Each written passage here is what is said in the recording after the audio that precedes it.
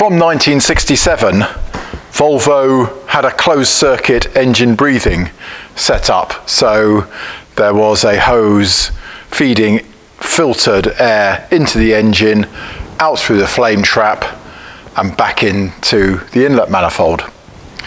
So you have a choice when buying the three bolt airbox from me that if you still have that closed circuit system, uh, which we like for dusty events or dusty climates, um, then you can simply screw in the adapter like so.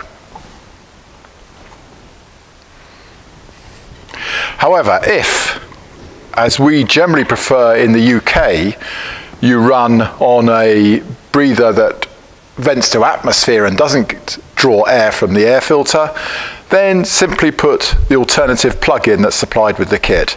So screw it in from the outside and then it's an 8 millimeter hex drive there.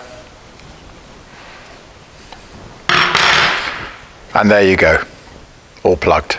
So, your choice, breather or breathing, engine breathing to atmosphere.